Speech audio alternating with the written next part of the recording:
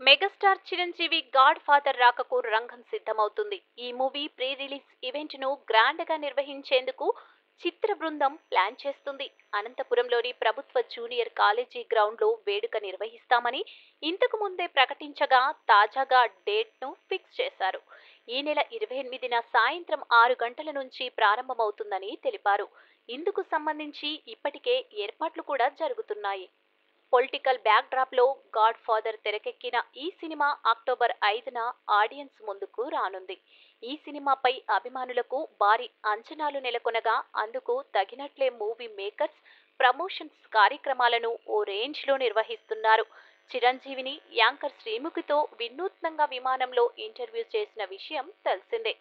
Pre release ఈవెంట్కు power star Pawan Kalyan వస్తారని ప్రచారం జరుగుతుండగా మూవీ మేకర్స్ నుంచి అధికారిక ప్రకటన రాలేదు. ఇక ఈ మూవీ రిలీజ్కు ముందే ఓటీటీ డిజిటల్ హక్కులు భారీ ధరకు అమ్ముడుపోయినట్లు తెలుస్తుంది.